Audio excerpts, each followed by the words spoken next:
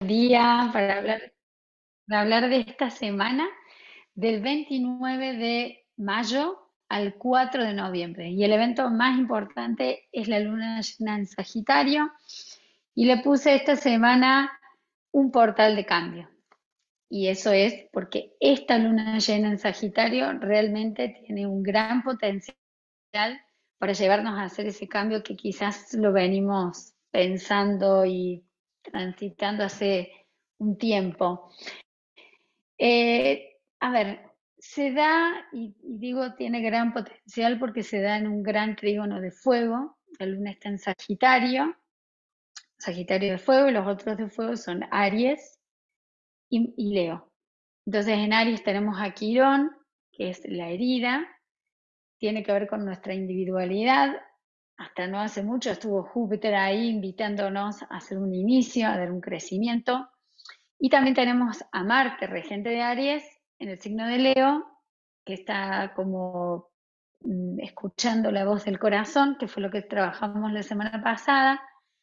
Así que bueno, esto es un gran trígono de fuego donde estamos trabajando mucho nuestra verdad, en nuestra propia individualidad, en nuestro propósito de existencia. Y digo esto porque ustedes saben que Sagitario es el signo de la verdad, es el signo que trabaja la intención de, como mi propósito de vida, el para qué estoy, el que le da quizás sentido también, es un signo que me invita a preguntarme para qué hago lo que hago. Eh, también podemos decir que trabaja como en la misión.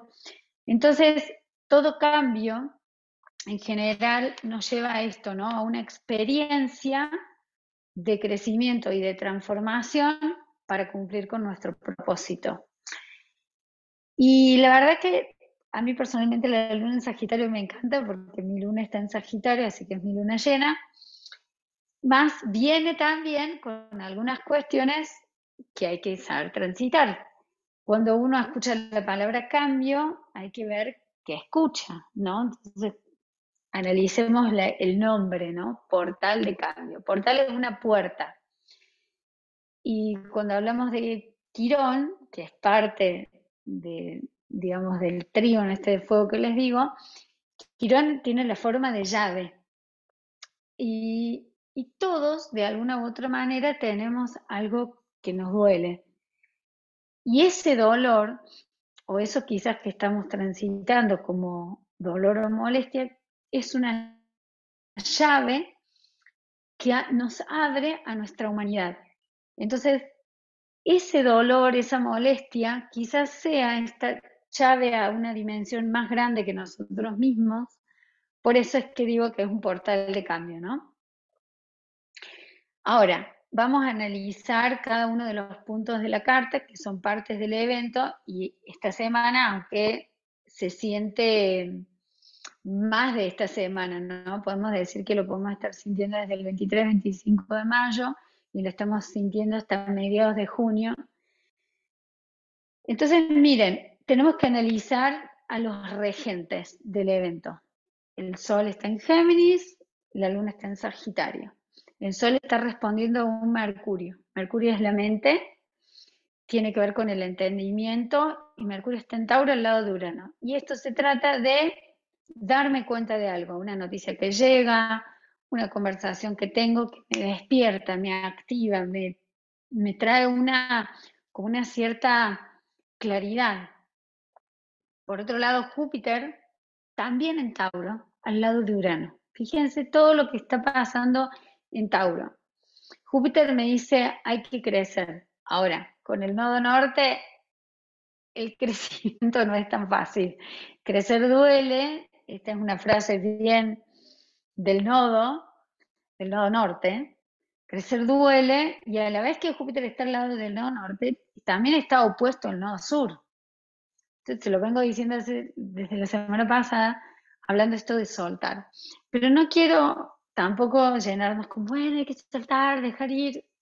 Yo creo que se trata más de poder identificar lo que ya no va en mi vida, ¿sí? Eh, y, no, y vuelvo a decir, quizás se trata de una forma de estar, de ser, de entender. Y fíjense que ambas conjunciones de los dos regentes están en Tauro. Entonces, todo esto que está pasando en esta luna va a ser en el largo plazo para encontrar mi propia estabilidad. Qué lindo suena, ¿no? Suena re lindo, pero por eso nosotros el lunes y martes vamos a trabajar el dolor de crecer, que, bueno, siempre ustedes saben que yo me encanta trabajarlo desde filosofía y todos los profes que damos yoga de las emociones eh, estamos alineados con esta energía del cielo, así que nuestras prácticas están alineadas a esto. Si vos estás en algún lado, por ejemplo, Rosario, Córdoba, Luque, en el sur, podés encontrar a lo mejor un profe de yoga de las emociones que te acompañe a trabajar esto.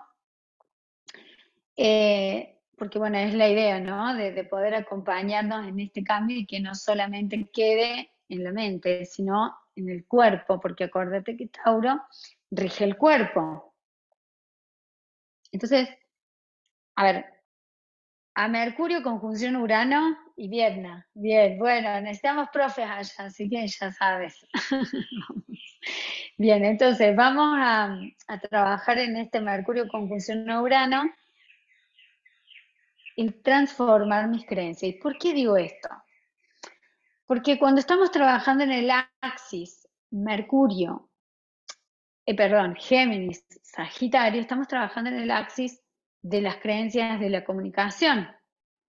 Y si ustedes lo han visto, entre podríamos nombrar muchos actores, pero por ejemplo, Joy Dispenser, eh, Luisa Hay, ¿no? donde nos dicen que las creencias crean nuestra realidad, o mismo, hola Cari, o mismo el, curso de milagros, que dice que cambiando mi creencia, ahí es donde sucede el milagro, entonces es una más que una oportunidad para hacer un cambio de creencias y para eso debemos identificarlas. Y eso tiene muchísimo esta luna llena. ¿Por qué?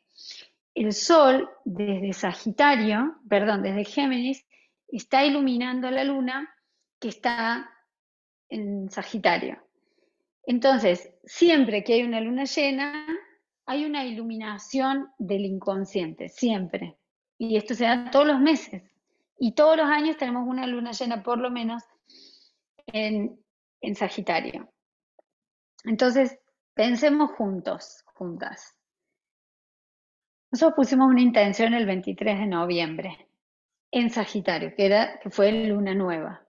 Esto es una luna llena. Así que para los que escribieron las intenciones, buenísimo, vayan a la agenda, qué intenciones habían escrito, porque acá estamos viendo algo, voy el resultado de algo que estaba sucediendo por allá por, por noviembre del año pasado. Ahora, está bueno ver dónde nos cae ese grado 13, que es donde va a ser la luna llena, porque en esos temas, igual en el audio signo por signo les voy a hablar, estoy haciendo consciente algo. Entonces, por un lado, en la zona Géminis se me está abriendo una oportunidad, por eso nosotros en el grupo de estudio que estamos, que hacemos los días dos miércoles al mes, va a empezar el 6 de junio, y estamos viendo cuál es esa oportunidad que se nos abre de acuerdo a nuestra carta en la zona Géminis de nuestra carta. Bien, ahora, ahí está el Sol, iluminando la luna en Sagitario que te muestra que hay una creencia que te está limitando. Entonces, como un ejercicio que me parece que está bueno hacer, es poder identificar dónde sentís que tenés como el rollo o el conflicto hoy, o si quieres, desde noviembre, incluso octubre, incluso septiembre del año pasado. Y ahora te explico por qué. ¿Y, ¿Y, cuál es tu creencia con respecto a ese tema? A ver un ejemplo. Estoy, no sé, teniendo un conflicto a nivel laboral eh, porque no siento que esté cobrando lo que tengo que cobrar. Entonces, bueno, identifico que mi creencia es que para poder ganar dinero tiene que ser con esfuerzo y con sacrificio. Entonces ahí, ¿no? sobre todo, por ejemplo, si este axis te está cayendo en la casa del dinero, como puede ser, por ejemplo, para Tauro, para Escorpio, puede ser creencias de este tipo, Entonces no estoy consiguiendo generar los recursos que necesito. Bueno, entonces reviso mis creencias sobre temas de abundancia y de merecimiento y muy probable ahí haya una creencia que te está limitando en el crecimiento o en el generar abundancia, autoestima, ¿sí? Tenemos que ver en qué casa nos cae. Igual signo por signo, yo se los voy a contar. Pero sí hay una creencia que en este momento va a estar siendo revelada, es que claro, si yo creo que para generar dinero tengo que trabajar, trabajar, trabajar, y eso hago, porque eso creo. Si lo creo, lo creo. Creer de crear, de creerlo a crearlo. ¿Se entiende, no? Entonces, esto es una para mí de las claves de esta luna. Reconocer esa creencia que me está limitando y llevarme a modificarla generando una nueva creencia. Podemos empezar a, no sé, un ritual y quemar la, quemar la creencia vieja y escribir una creencia nueva y empezar a actuar en consecuencia con esa creencia. Entonces, si yo, por ejemplo, tengo la creencia de que ganar dinero tiene que ser con esfuerzo, entonces quizás puedo poner, gano dinero haciendo lo que amo, disfruto de mi trabajo y soy abundante, me merezco un buen salario, por ejemplo, ¿no? Entonces, eh, o, la creencia de esto de gano dinero eh, cumpliendo con mi propósito, por ejemplo, ¿no? Bien, eso por un lado. Por otro lado, que Júpiter esté al lado del nodo norte nos dice de que va a aparecer una oportunidad que puede traer abundancia en nuestra vida, porque está en Tauro, porque habla de crecimiento. Ahora, sí, crecer duele. Entonces, ¿estoy dispuesta a transitar o dispuesto a transitar esa incomodidad que significa crecer? El fin de semana tuvimos el retiro con los chicos de segundo año de la formación de las emociones. Y bueno, y están en una instancia donde hay que empezar a compartir la práctica desde este abordaje que es completamente nuevo, es algo distinto, es algo que todavía personas no entienden cómo es trabajar las emociones desde el cuerpo y cómo es la mirada, entonces es como transmitir algo que la gente no conoce, ¿no? Y hablábamos de esto, del desafío que se nos presenta y de que hay que enfrentar el, nuevo, el miedo a lo nuevo, a lo desconocido, a compartir.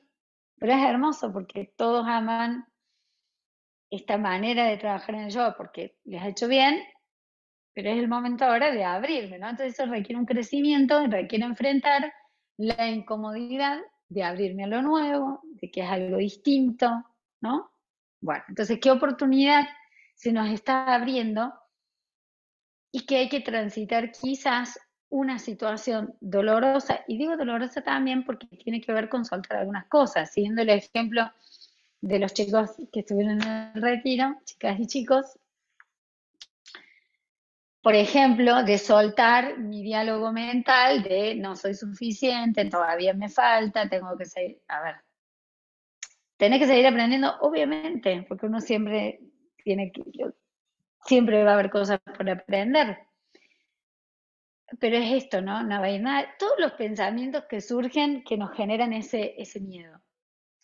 Así que bueno, eso por otro lado. Así que vamos a trabajar durante las prácticas nuestro miedo a crecer, a expandirnos. Vamos a trabajar también en el cambio de perspectiva. Y también tenemos que saber que esta luna está en cuadratura con Saturno en Pisces. Bien, hablemos de eso. Saturno, ah, pero, pero, antes de hablar de Saturno en Pisces, yo les contaba y les decía que esto venía desde septiembre, ¿no? ¿Por qué? Digamos septiembre más en octubre, o sea, a ver, porque Marte retrogradó en la zona Géminis de nuestra carta, así que algo del pasado pudo haber vuelto, o algo que vengo trabajando de octubre del 2022 a enero del 2023, que ahora está siendo revisado porque Marte retrogrado los grados matemáticos donde está haciendo la luna llena. Entonces no es algo nuevo, no es algo que, que, no sabemos de qué se trata. Sabemos bien de qué se trata, cuando escuchan signo por signo se van a dar cuenta. Pero hay algo donde en esa fecha yo me, replanteé, estuve viendo cómo hacerlo. Y, y ese, ese viajecito que hizo Marte retrogrado lo hizo hasta marzo del 2023. Y ahora viene de vuelta a decir como, eh, otra vez ese tema. Sí, otra vez. Pero de alguna manera, Saturno en Géminis, en Pisces, que ahora sí es lo que estaba queriendo hablarles ahora, te dice, bueno, y vas a tener que elegir. Ya está.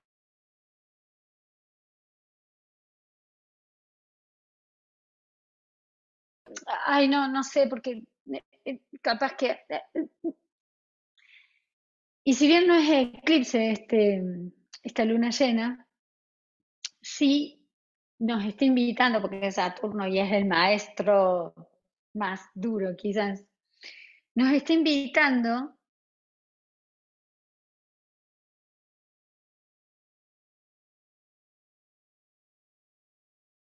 Claro, Géminis tiene esta cosa de, bueno, esto o aquello. Sagitario busca la verdad, así que hay una iluminación de una verdad. Hay que hacerse cargo de algo que me pasa, de ser sinceros, de poder eh, abrirnos. Ojo, ojo, yo siempre digo, ojo también con el sincericidio. Hay cosas que hay, hay que hablarlas y otras cosas que son íntimas también, ¿no? Y a veces se confunden. Entonces, creo que esta cuadratura es maravillosa para esta luna, donde nos invita a que seamos protagonistas de nuestra vida y que eso que se nos está revelando, eso que se nos está mostrando y que yo me doy cuenta y que ya no me puedo hacer la la pava de, ah, no, acá no pasa nada, me voy, bueno, sigo haciendo como si nada. No voy a poder hacer eso. Así que es preferible que uno mismo sea cargo a que eso venga de afuera, ¿o no? Por eso el viernes, que más cerquita de la luna llena, le puse el compromiso por Saturno con tu verdad por Sagitario. Así que bueno, ¿qué decisiones uno siente que tiene que tomar? Que ya es hora. Y de cómo muchas veces no elegir nos deja en un lugar cómodo, incómodamente cómodo, porque es seguir estando en la mierda. O sea, en algo que ya no queremos. Vieron que Sagitario tiene la tendencia a negar, ¿no? Como, eh, no pasa nada, bueno, sigamos, eh, ¿no? Y como, no, no, acá no pasa nada, veamos siempre lo positivo, que, que sí, ¿no? Está bueno ver lo positivo, pero ojo con la negación, ¿sí? Yo soy re luna en Sagitario, muy luna en Sagitario, y tengo la tendencia a querer ver todo color de rosa. Con esta cuadratura en Saturno, y que, sal, que cae muy, muy cerquita de mi luna, ya veremos qué, me trae. Y, y, con esto no quiero ni sugestionar a nadie, para nada, al contrario, es decir, bueno, a ver, si yo me doy cuenta, y de esto les voy a hablar principalmente en los audios signos por signo, ¿en qué área de nuestra vida Saturno nos está diciendo, che, media pila? Ponte las pilas, hay que poner un límite, porque digamos está Saturno en el medio del Sol y la Luna, en cuadratura. Y Saturno te dice, hacete cargo, hacete responsable. ¿Y sabes qué otra cosa te dice Saturno en Pisces? ¿Cómo sos cerrando temas? Y digo Pisces porque Pisces es el signo que cierra el, el zodíaco. Pero viste cuando vos te das cuenta que algo no va, no fluye, no está, no está fluyendo y uno quiere seguir metiendo algo donde no va, ¿no? Entonces, bueno, es hacernos cargo de, ¿por qué siento que no fluye? Porque con esto tampoco estoy diciendo, bueno, entonces listo, hay que cortar todo. No, gente, hay que poder identificar mi creencia que hace que eso no fluya. Entonces quizás cambiando esa creencia, yo puedo modificar algo en mi afuera y no necesariamente algo tiene que terminar.